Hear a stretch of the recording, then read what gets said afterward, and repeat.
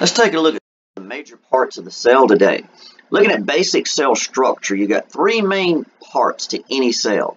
The plasma membrane is the first. This may be called cell membrane, phospholipid bilayer, whatever. This is like the very outer margin, sort of like the skin of the cell. We'll look a lot more at it. The cytoplasm containing all these organelles or organ-like structures will be all this region in between the plasma membrane, which is the very outside of the cell, and then the nucleus, a very large structure found inside of it. So we'll see what's found in that cytoplasm, and then we'll look at all these individual organelles further along too. And then you got the nucleus, where you got the genetic material of the cell contained.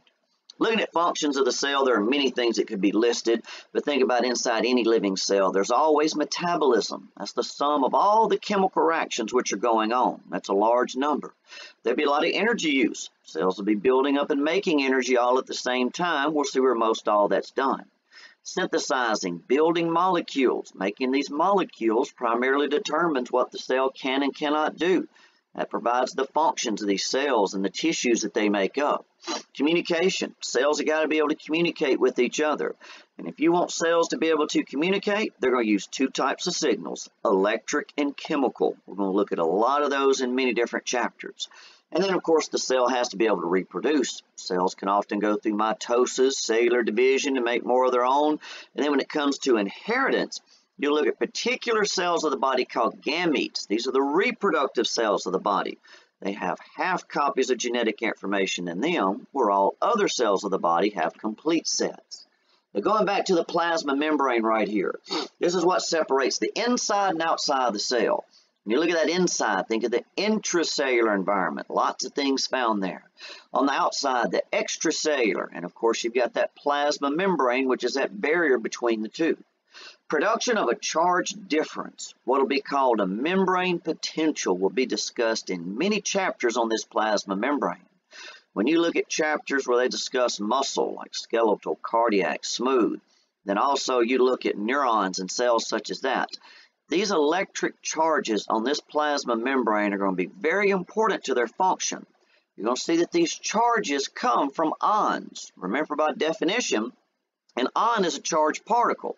You'll see the cell likes to keep more of the positive ions on the outside of it and more of those with a negative charge on the inside. So anytime you talk about a cell and its resting membrane potential, that means when the cell is at rest, where are the charges? And they will be positive on the outside, negative on the inside.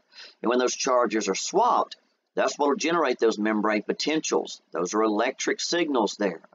Also in that plasma membrane, you'll see this glycocalyx, a combination of carbs and lipids. We'll see those more along. And that plasma membrane is always called a fluid mosaic model. In other words, it's not hard and rigid like a piece of metal. At the same time, it's not liquid, but it's somewhere in between. It definitely makes a good barrier, but it also lets a lot of things pass through it. That's in and out of the cell. But looking back at those membrane lipids there, phospholipids you'll see quite a bit. A lot of the pictures you get text, they'll often look like a little round balloon with a couple of little strings coming off of them. Well, when you look at those individual phospholipids, you'll see in that cell membrane, they form a phospholipid bilayer. So obviously that's two layers.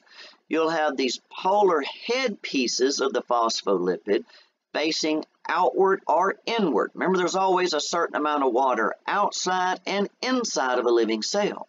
So the part of the phospholipid bilayer, what looks like the little round balloon or head portion, is polar, has polarity, has a charge. So it always faces those water molecules. So that part of that phospholipid layer is always either facing to the outside or the inside. But it looks like the strings coming off the balloon, what's called the nonpolar tails, don't have a charge. And they'll be facing each other towards the inside of this bilayer of that membrane. There's quite a bit of cholesterol in this layer also. Look at this fluid nature model right here.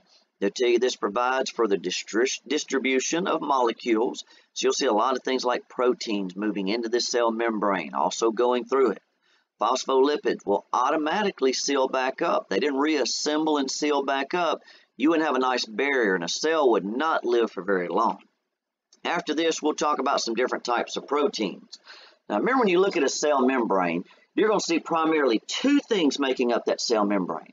The phospholipids we just mentioned. Think of that as a lipid layer, lipids, fats, oils, things such as that right there. But about half that cell membrane is also protein, so it's roughly half and half lipids and proteins, but there's definitely some other things in there with it.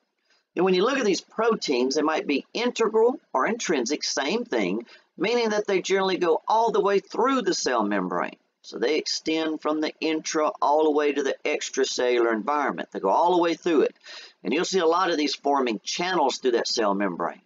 But there's also the peripheral or extrinsic. These are the proteins that generally just go halfway through that cell membrane, generally facing to the outside of the cell. And the function of each individual cell depends on its shape. When it comes to proteins, their shape determines their function. And that's why when you look at homeostasis, that relative constant environment inside your body, the two most important variables to homeostasis are your body temperature and your pH range. Because only around 98.6 Fahrenheit and a pH range of 7.35 to 745 do the proteins inside of you keep just the correct working shape. You get away from that temperature, that pH for very long, proteins in all your cells start to change shape those cells stop working, you'll be in big trouble after that right there. So we'll see many different functions of these proteins. We'll see some marker molecules, very important when it comes to cells communicating and identifying one another. That'll be big with things like immunity, reproduction, and also intercellular communication. Looking at some of the attachment proteins, there's a few different types like cadherins, which attach cells to other cells. We got these integrins, integral proteins that attach to extracellular molecules. Sometimes that's for communication. And then we'll have lots of these transport proteins, transporting things through that phospholipid bilayer. You'll see a lot of these being channel proteins. They look like a little passageway, like a little straw or a gate going through that cell membrane. There'll be lots of carrier proteins moving things from one side of the cell to the other. And we're going to look at a lot of ATP powered pumps. The sodium potassium exchange pump is the best example.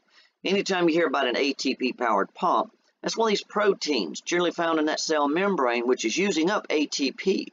Remember that ATP is the energy currency of the cells. It's just like gasoline for an engine. So looking at some of these channel proteins, there's three major categories. First are the non-gated ion channels. Now remember these channels let ions pass through them. Sodium, calcium, and potassium are the three biggest and most important ones we'll look at most of the time. But if you've got a non-gated ion channel, this is where a protein goes all the way through the cell membrane and there aren't any gates, nothing to stop the ion movement. So whatever ion that gate is particular to, can move through those channels anytime it wants, right there. But many of these proteins do have gates on them. So those that do have gates respond to, in other words, open or close in response to two different types of, of signals. There are ligand-gated ion channels that respond to chemical signals. There are voltage-gated ion channels that respond to electric signals. Remember we said if cells want to communicate, they can use chemical and electric signals. So that's not a mistake that when we look at ion channel gates and what opens and closes them, chemical signals is one. You'll see hormones, neurotransmitters, and so on in different chapters, often opening these ion channels up and letting an ion move in or out of the cell. But you'll see other ion channel gates that only open when an electric signal passes through them. And that's why they call these voltage-gated ion channels. Again, you got the electric and chemical signals here. When you look at that cell membrane, when you swap that positive charge from the outside of the cell to the inside, that's when you generate membrane potentials. Those are electric signals, and those will open up these voltage-gated ion channels. So think of those channel proteins as passageways, like doors going through that cell.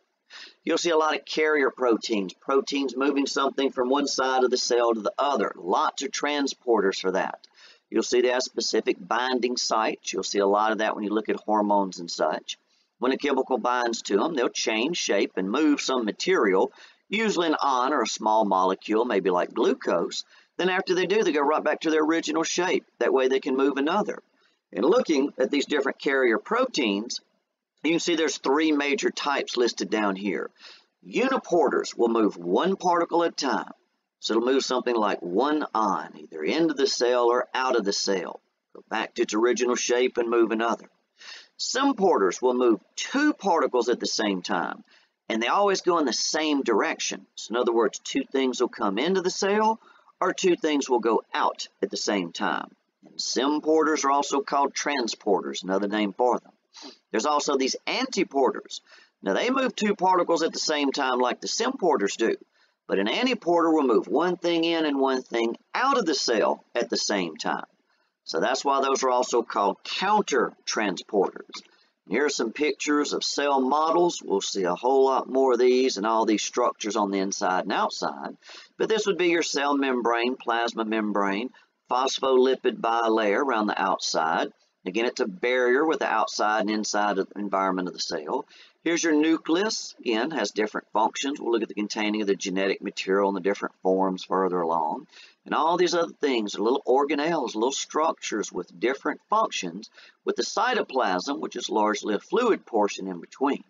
So a little drawing here. We'll go over all these materials further along.